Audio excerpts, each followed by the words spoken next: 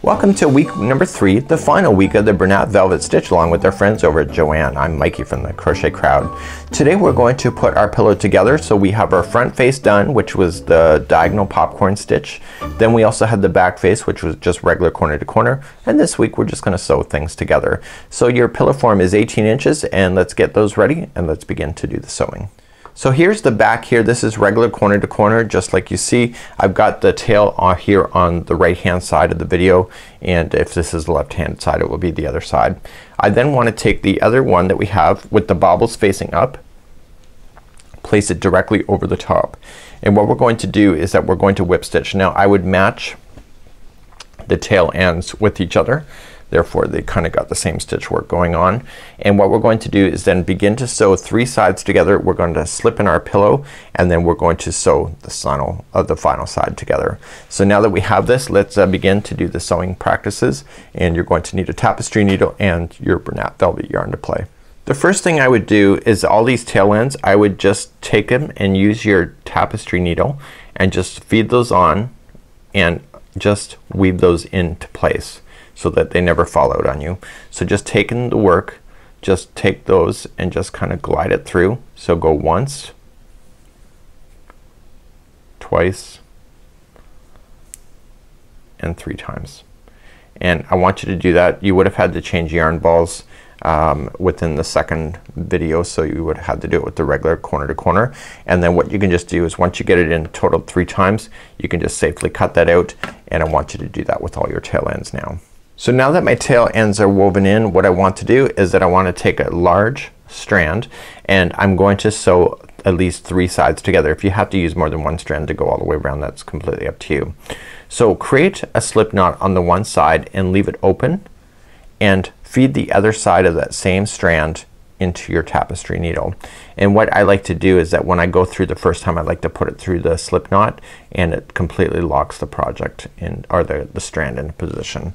So starting off on the one side I want you to just come through the one side here in the back and match it to the same stitch on the next one and pull through and when you pull through look for that the slip knot and feed it through. And what that will do is it'll lock it into position for you.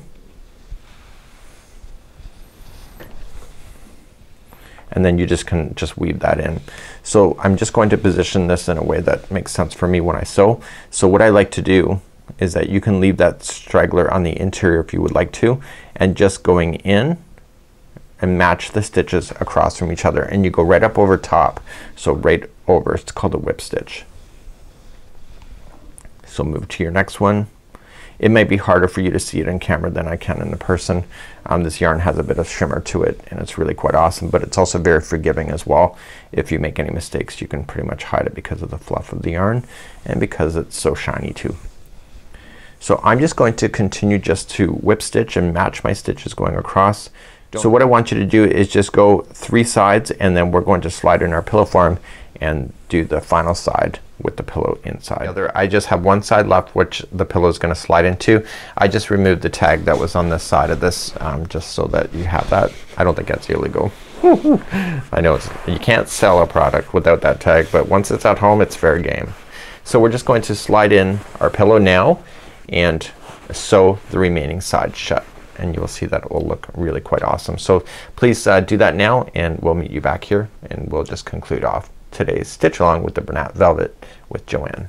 So once you get to the very end just tie yourself a little knot and then you're just going to take in your darning needle or your tapestry needle and just weave it through.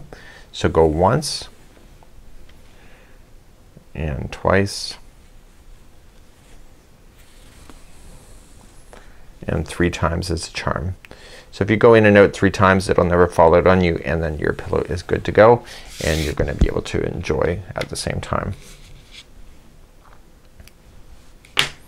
and then that's it. So here is my pillow and this is the back side of the pillow. Let's turn it up and get the bobble side. The bobbles do a nice job of filling in all the spacing and this is good to go. So please enjoy your new pillow. This is compliments of Joann.com and this is Bernat, Bernat Velvet Stitch Along and I'm your host Mikey of the Crochet Crowd. We'll see you again real soon. Bye bye.